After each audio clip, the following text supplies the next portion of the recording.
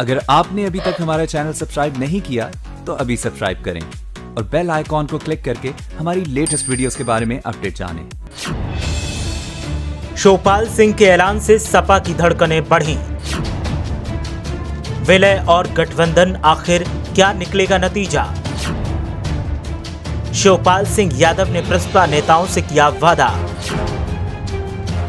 सम्मान से समझौता न करने की कही चाचा जी ने बात भतीजे अखिलेश यादव से अलग होने के बाद चाचा शिवपाल सिंह यादव के फिर से साथ आने के कयास लगाए जा रहे हैं। कभी लगता है कि अब चाचा भतीजे एक होने वाले हैं तो कभी लगता है कि अब एक होने की उम्मीद टूट रही है।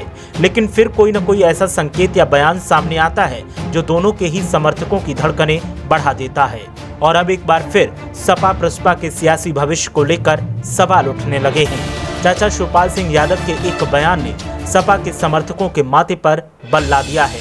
वहीं प्रसपा समर्थक भी काफ़ी सक्रिय दिखाई दे रहे हैं। अब तक कई मौकों पर भतीजे के साथ आने के संकेत खुद शिवपाल सिंह यादव ने दिए थे और मिल बैठकर फैसला लेने की बात कही थी। लेकिन अब एक बार फिर साथ आने के संकेत तो मिल रहे हैं, लेकिन पेच गठबंधन या फिर विलय पर आकर अटक जाता है। दरअसल प्रगतिशील समाजवादी पार्टी की प्रदेश कार्यकारिणी के एक दिवसीय बैठक में शिवपाल सिंह यादव ने साफ़ किया कि उनकी पार्टी का विलय समाजवादी पार्टी में नहीं होगा। उन्होंने अपने नेताओं और कार्यकर्ताओं को भरोसा दिलाया कि प्रसपा का स्वतंत्र अस्तित्व बना रहेगा और किसी के सम्मान के साथ कोई समझौता नहीं होगा।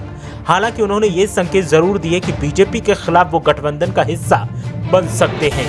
इस बैठक में राज्य और केंद्र सरकार की नीतियों पर भी तीखे हमले किए गए और साल 2022 के विधानसभा चुनाव की तैयारी में जुटने का आह्वान किया गया। बसपा प्रदेश मुख्यालय में कार्यकारिणी की बैठक शिवपाल यादव की अध्यक्षता में शुरू हुई।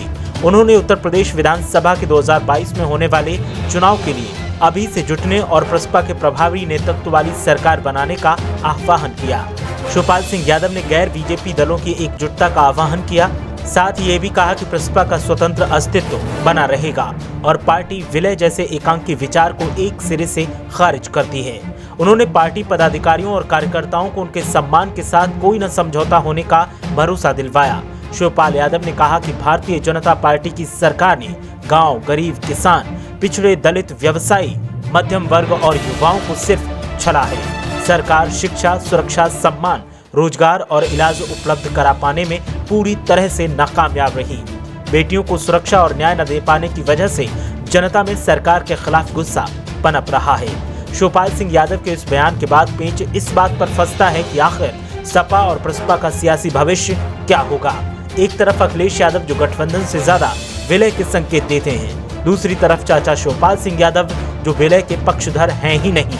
ऐसे में अब समर्थक एक बार फिर बात आने वाले भविष्य पर डाल देते हैं और जो होगा अच्छा होगा की बात कहते हैं। ब्यूरो रिपोर्ट, मीडिया हलचल।